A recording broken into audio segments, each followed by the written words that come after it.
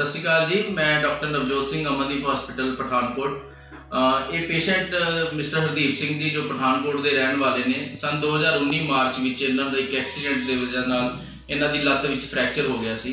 ਜੇ ਤਦ ਇਹਨਾਂ ਨੂੰ ਕੋਈ ਪ੍ਰਾਈਵੇਟ ਹਸਪੀਟਲ ਪਠਾਨਕੋਟ ਵਿਖੇ ਹੀ ਦਾਖਲ ਕਰਾਇਆ ਗਿਆ ਜਿੱਥੇ ਇਹਨਾਂ ਦੀਆਂ ਮਲਟੀਪਲ ਸਰਜਰੀਜ਼ ਹੋਈਆਂ।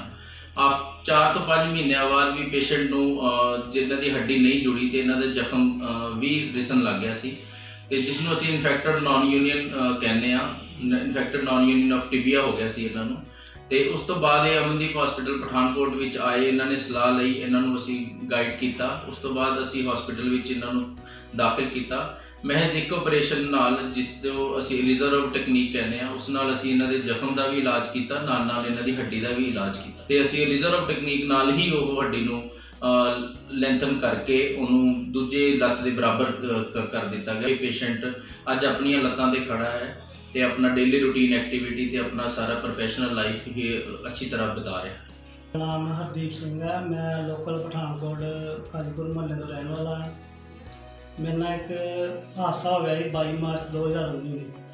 ਉਸ ਤੋਂ ਬਾਅਦ ਮੈਨੂੰ ਸਿਵਲ ਹਸਪੀਟਲ ਲੈ ਕੇ ਗਏ। ਸਿਵਲ ਹਸਪੀਟਲ ਤੋਂ ਅਗਲੇ ਦਿਨ ਮੈਨੂੰ ਇੱਕ ਪ੍ਰਾਈਵੇਟ ਹਸਪੀਟਲ 'ਚ ਮੈਨੂੰ ਰੈਫਰ ਕਰਤਾ। ਜਿੱਥੇ ਉਹਨਾਂ ਦੀ ਕੁਝ ਅਣਗਹਿਲੀ ਕਰਕੇ ਮਤਲਬ ਵੀ ਮੇਰੇ ਚਾਰ ਆਪਰੇਟ ਉਹਨਾਂ ਨੇ ਕੀਤੇ। ਤਾਂ ਮੇਰੀ ਫ੍ਰੈਕਚਰ ਇਸ ਜਗ੍ਹਾ ਤੋਂ ਫ੍ਰੈਕਚਰ ਹੋਇਆ ਸੀ।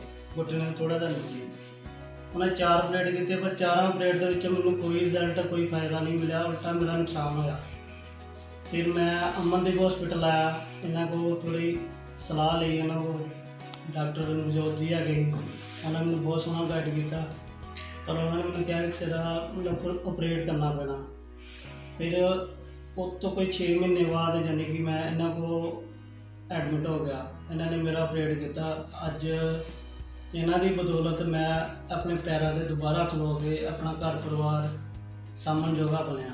ਡਾਕਟਰ ਨਵਜੋਤ ਨੇ ਪੂਰਾ ਮੈਨੂੰ ਕੋਆਪਰੇਟ ਕੀਤਾ ਔਰ ਮੈਨੂੰ ਅੱਜ ਮੈਂ ਜਾਨੀ ਕਿ ਉਹਨਾਂ ਦੀ ਬਦੌਲਤ ਅੱਜ ਪੈਰਾਂ ਆਪਣੇ ਤੇ ਖੜਾ ਹਾਂ।